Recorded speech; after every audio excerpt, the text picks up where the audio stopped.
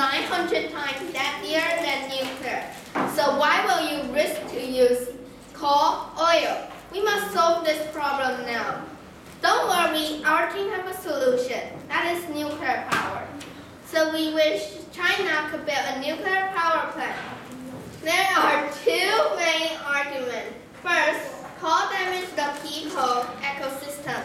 And second, nuclear power reduce fossil fuels.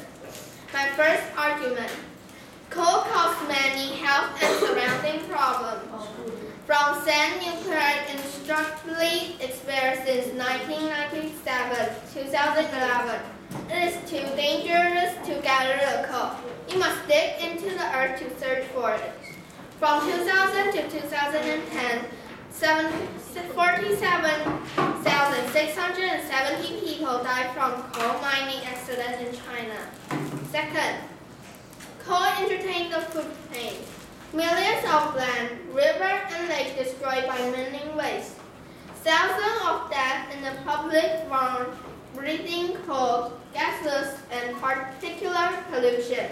And at least 4,025 people died from every single death from nuclear power.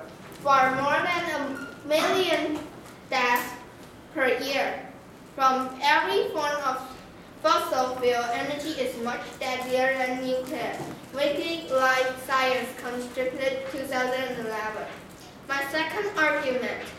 First, nuclear power costs significantly more than what produced from fossil fuels, nuclear power practically is expanding as a key strategy to reduce China's emissions.